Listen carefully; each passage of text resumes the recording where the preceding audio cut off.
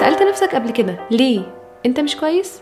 بكل بساطة أنا أمنية وبقالي فترة مش كويسة. مش كويسة بجد. وسألت نفسي أنا ليه مش كويسة؟ على إن معظمنا لما بيبقى مش كويس بيسمع أغاني تخليه في حالة أسوأ أو يروح يشكي قد إيه هو مش كويس بيشكي وبس مش عايز يسمع حلول. أو يقعد لوحده ويجيب القديم والجديد وتبقى جلسة صياحية. بس ما تيجوا نقعد كده شوية ونسأل نفسنا ليه؟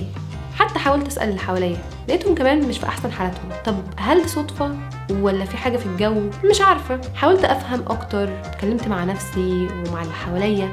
هل عشان مثلا الحياة صعبة في العموم ولا هي المشكلة فين بالظبط؟ ليه الفترة دي تقيلة قوي كده؟ كل حاجة بقت تقيلة. الحاجات اللي بعملها في العادي بقيت بحسها بتطلع روحي لما باجي أعملها دلوقتي. ليه أسهل حل؟ بيبقى النوم أو الراحة. ونسيب الدنيا تولع. أسئلة كتير قوي مش لاقية ليها جواب. أنا مش كويسة فانا مش كويسة النهارده وبكرة وبعده. مش بشتغل فمش هشتغل. عشان بس الشعور الوحش اللي مش لاقية ليه أي ترجمة. ولو في إجابة حقيقية لسؤال أنا ليه مش كويسة هتكون إجابة بسؤال تاني. وليه؟ مش العكس. بس قبل ما نقول ليه مش العكس خلينا نتكلم عن الحاجات اللي ممكن تكون مشتركة ما بيننا. زي عيلة. أي عيلة. أهلك بيحبوك وبيحترموا رأيك وأكيد مش ضاغطين عليك خالص. مش بالظبط. أو أفكارك الليلية اللي بتحاول تقنعك إنك ممكن تفشل وأنت أصلا مجربتش. هي الساعة كام؟ أو دور الضحية اللي بتحاول تقنع نفسك بيه. قد إيه أنت عديت بحاجات صعبة عشان تاخد أجازة من الحاجات اللي وراك؟ وإنك أغلب من الغلب أو جلد الذات. إنك مش مسامح نفسك ومش سامح لها تغلط وتجرب وتتعلم.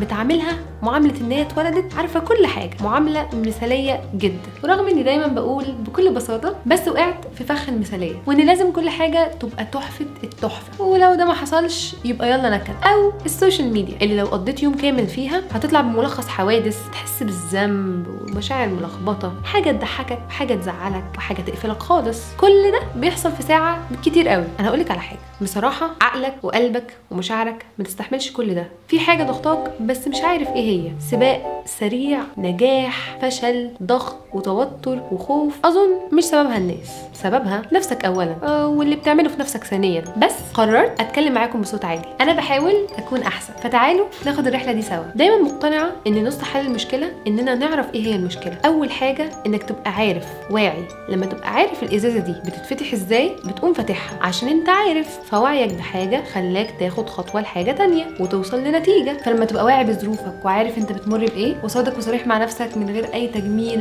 أو صعبانيات ها؟ هتعرف المشكلة فين وهتعرف تحل المشكلة. وأوعى الوهم ساعات عقلنا بيسوحنا بيعيشنا الوهم. الوهم إن مشاكلنا دي عمرها ما تتحل عارف الوهم؟ هو ده محدش هيفوقك. غير نفسك أو وجود ناس حواليك. علاقات صحية وإن الوحدة وإنك تحل كل مشاكلك لوحدك مش شطارة ومش دايما بينفع. وايش عرفك أصلا إن أنت دايما صح. الاعتماد على النفس غير خالص إنك تبقى لوحدك محتاج تتكلم. صدقوني لو الحياة هتكمل لوحدنا ما كناش اتخلقنا كلنا نساعد بعض. لو ما عندكش حتى صحاب أو ناس حواليك اسعى تكون دايرة صحية. ولو عندك حاول تطلب المساعدة منهم. وأخيرا تأقلم وتجاوز. حاجتين عكس بعض. تجاوز الماضي اللي بيشدك كل شوية اللي بتخليه حجة إنك تفضل متضايق أكتر. اللي بيوقفك عن أكل عيشك وإنك تكون إنسان كويس وإنك تكون إنسان أحسن وإنك تدرس وإنك تشوف حياتك. اللي بيقولك إنك عمرك ما تتغير على إنك بتتغير وبتتحسن. بس أنت رامي ودنك لورا. تجاوزت الماضي؟ تعالوا بقى نتأقلم مع الحاضر هو في حاجة والله أنا عايزة أقولها لكم كأمنية صدقوني مش كل حاجة هنتمناها هتجيلنا. بس كل حاجة بنتعب لها وناس عليها احتمال كبير جدا تجيلنا. إحنا الآن ودلوقتي وفي الفترة الحالية. بنركز بس دلوقتي. بعد ما تتجاوز وتتأقلم وتعرف المشكلة فين وتطلب المساعدة وتقرأ أكتر هنرجع لسؤالنا. ليه بنحس إن إحنا مش كويسين؟ أقول لكم على سر دي مش حاجة تتعمم بسبب أفكارنا. بس كده. والله. فكرة تعيشني دور الضحية وفكرة ترجعني لورا. فكرة تنيمني يومين.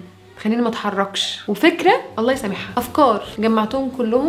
كل اللي فات ده حاله بنعيشها من الأفكار. كل فعل كان مجرد فكرة في الأول. كل ده بيكون في دماغنا قبل ما نعيش نفسنا في الحالة دي. بس قررت أطلع الأفكار وأحط لها عناوين وأفصصها عشان بعدين ما أضرش نفسي.